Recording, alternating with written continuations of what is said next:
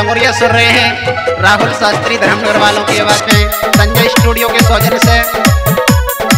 हमारा साथ दे रहे हैं धर्मेश शास्त्री जी